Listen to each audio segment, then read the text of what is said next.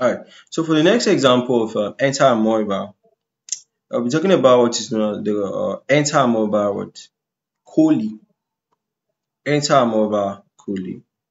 Right? So for this enter-amoeba coli, okay, this is the life cycle from the trophozoite to the pre-cystic uh, pre stage to what? Okay, to the other one. So look at it when we're talking about the life cycle. Uh, these are the different shapes which you can find this organism in. Right, so for the enter-amoeba coli, so that is a non-pathogenic because like normally it will not cause a problem to you. Okay. So it actually resides in the human gastrointestinal tract. Right, so guy in the stomach, right? So despite sharing a name with the bacterium Escherichia coli, these ones they are entirely different in nature. Okay. Okay, okay, despite sharing a name with bacterium Escherichia coli. Oh, oh, oh, okay, okay, okay. Escherichia coli, enter-amoeba coli. Okay, okay, okay. But they're actually different. Okay, because this is, is an enter-amoeba. The other is an Escherichia, so they are quite different. So characteristics are actually what non-pathogenic. So they are generally what harmless. They do not cause a disease.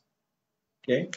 Morphology is similar to what the pathogenic what enter-amoeba histolytica, which can lead to what diagnostic or confusion. These ones usually don't cause a problem.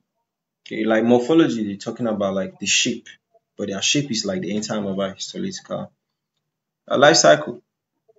They exist as what? Trophozoite and cyst. So the trophozoite stage is what? Active, while the cyst is the infectious one that can survive outside the host for several months. Transmission is what the fecal oral route. Infections through what the ingestion of cyst from water that has been contaminated or food that has been contaminated. So poor hygiene practices is what? Okay, poor hygiene practices is another means of transmission. So contaminated hands of surfaces can actually contribute to transmission. Right? Diagnosis is where you are doing microscopy. so you want to what? Do a microscopy of these two samples to see if you can see the cyst or the trophozoite in it. Okay.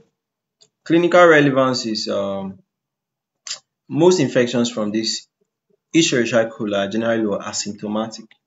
Okay. So they do not actually cause symptoms in most cases. But if symptoms do occur, they are usually just mild and they include just gastrointestinal discomfort. They are also important in diagnosis. So differentiating them from the uh, enter-amoeba histolytica is actually what's crucial to avoid unnecessary treatment because if it is the uh, coli, you don't really need to treat because they do not cause infections or they cause very mild infections.